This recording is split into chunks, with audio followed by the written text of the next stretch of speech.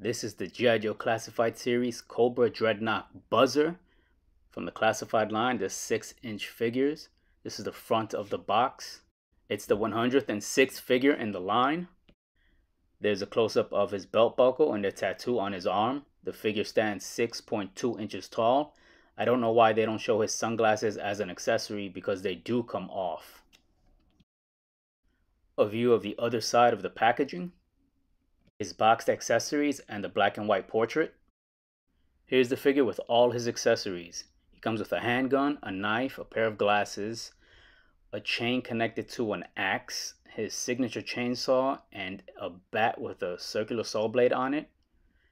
Here's a close-up look of the figure from the front. His buckle, his grenades, his dog tag, his badge. Good look at his face and his chest hair. A side view of the figure a view of the figure from the back. Here's a nice profile of him where you can see his ponytail. A really good look at his tattoo. It's a cobra with a knife. He's got some hair on his arm and a fancy watch. The option of having removable glasses is so important to this figure because that's something you could never do with a Dreadnok figure before. And there's his classic look. Put his knife in the sheath and put his gun in the holster. Here he is in a pose holding his weapon of choice, the chainsaw. Dreadnok Buzzer.